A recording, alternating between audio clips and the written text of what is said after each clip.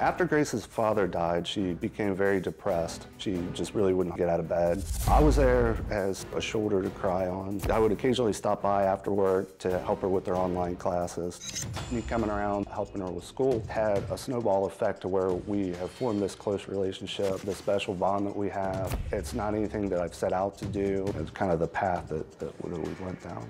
One time, Grace asked me to bring over a bottle of whipped cream. When I brought the whipped cream over, I made a bad joke, put the whipped cream on my neck.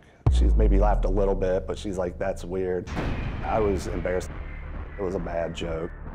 I wiped it off really quick. That was the last that we even talked about it. Bridget contacted my wife about that incident, kind of trying to, uh, go, I feel like, go overboard a little bit, you know, make it look like something terrible had happened. My wife talked to me about it. She really, truly didn't believe anything inappropriate had happened.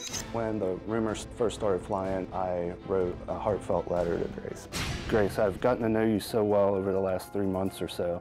I love you with all my heart. The way I love you is unique and I don't know how to explain it, but I think you understand and I think it's the same for you. I know you're only 16, but you're one of my best friends in the world. I will always, always be there for you. Love, Kevin. There's absolutely nothing inappropriate with my relationship with Grace. Thank you for being here. You were, we, we were going to add you, and then backstage you said you were refusing to come out unless you came with your wife? Yeah. Um, why, why up to this point, um, I felt like I knew where everybody was coming from, but I heard some things that were just not true from, from Tammy.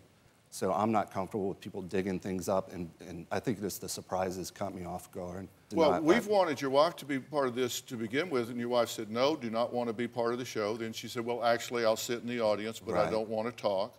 Then she said, no, I'll sit in the audience, but I'll talk, but only to Dr. Phil. Uh-huh. Then she said, okay, now I'll actually come and be, so you've been. Right.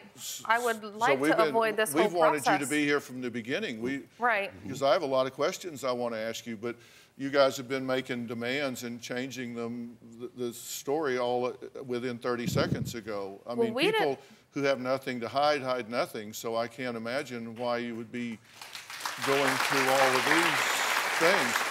Because you don't know what I think. You, you might be pleasantly surprised to know what I think.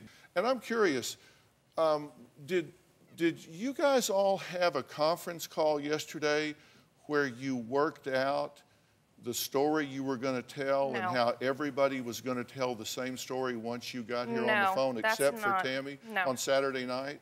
And what do you know about the call, Tammy? I looked at Bridget and I said, What is it? What's going on? She's like, Something must have happened with Carrie and Kevin because they're telling me they're threatening that they're going to go home. And I said, Well, what happened? Well, then Grace said, Well, she had talked to Kevin about a few of the questions that were asked. Not true.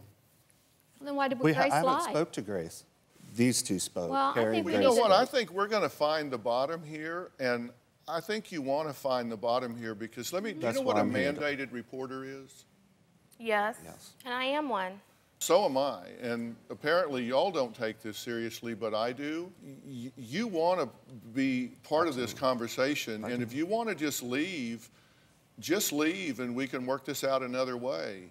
But I'm not comfortable with everything that's flying around here, and it needs some clarification because Okay, I'm real gonna me. uncomfortable with this, and I have one priority here, and that's the safety of this child. Mm-hmm. And I, don't, I don't get the urgency on anybody's part about the safety of this child other than Tammy. The phone call consisted of us discussing that some of us felt uncomfortable about the situation and how it might go. With Kevin saying that he was going to call the whole thing off, we were, me and my sister Carrie were saying, let's go get the help that we need. And we were all in agreement that that's what we needed to do. Do you have a story or a question for me? Click the link in the description and tell me what in the world is going on.